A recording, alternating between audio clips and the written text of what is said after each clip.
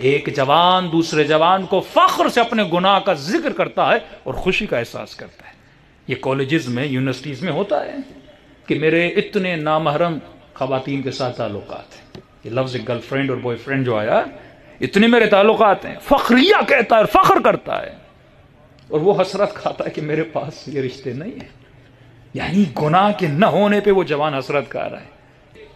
एक बाप कहता है कि मेरी बेटी जब सेंटर पे पढ़ने जाती है तो टीचर कहता है कि आई कांटेक्ट बरकरार करो। कहते, बेटी कहती है, नहीं, मेरे मौला ने मना किया है, आई कांटेक्ट हराम है। कहा, नहीं, फिर तुम्हारे वजूद में कॉन्फिडेंस नहीं है। मैंने कहा, ना एजुकेशन सिस्टम को ऐसा बनाएँगे कि हया खत्म हो जाएगा। एजुकेशन सिस्टम के मैार वो बनाएँगे कि आपके वजूद से हया और शर्म का नाम ही नहीं रहेगा। जवान को बुरा नहीं लगेगा दोस्ती करने में, नामहरम से ताल्लुक बनाने में व्हाट्सअप पे चैट करने में फेसबुक पे फ्रेंड्स बनाने में। वो दुनिया क्रिएट कर रहे हैं जो इमाम ज़माना से बहुत